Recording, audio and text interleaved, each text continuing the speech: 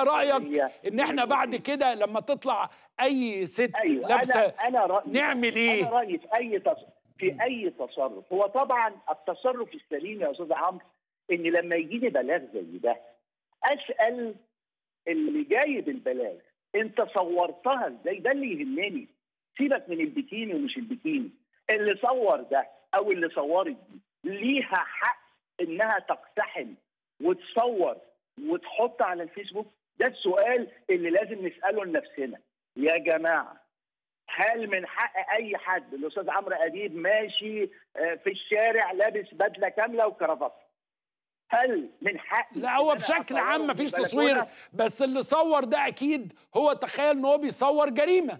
هو بيصور فعل فاضح يعني هو تخيل. كده. أذيع أذيع الجريمة دي على الفيسبوك. مثلا يعني أنا همشي معاك لغاية الآخر. هل اذاعه الجريمة دي على الفيسبوك هو ده قانوني هو ده الأخلاقي. ف أنا لو لو من متلقي البلاغ أحاسب من صور أحاسب من نشر هذا التصوير. يعني أنت رأيك إن إحنا- إحنا إن إحنا لازم نطيب خاطرها برضه. إحنا لازم أسفين. نعتذر لازم نعتذر لها. نعتذر لها. وبدون وهقول لحضرتك وهقول لحضرتك ليه. دلوقتي آه، آه، آه، آه، هنعتذر لها لأن إحنا ما عملناش أي حاجة مع اللي صورها ما عملناش أي حاجة والتصرف كان تصرف مبالغ فيه جدا. أنا اللي كل اللي بطلبه.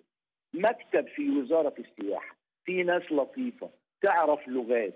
لما تصار حاجة زي كده يخبطوا على الباب في منتهى السريه يعرفوها إن في كذا وكذا وكذا وإن جالنا كذا وتنتهي الحكاية عند كده. لكن أن نجي يعني نجيش نفسنا ونطلع كتيبة ونروح مش عارف نعمل إيه وتعالي نحقق معاكي وتصبح منشط في العالم كله إحنا لازم نسأل نفسنا سؤال. إحنا عايزين نبقى مجتمع سياحي ولا نفضها سيرة ونقفل على نفسنا ونبقى محمية طبيعية.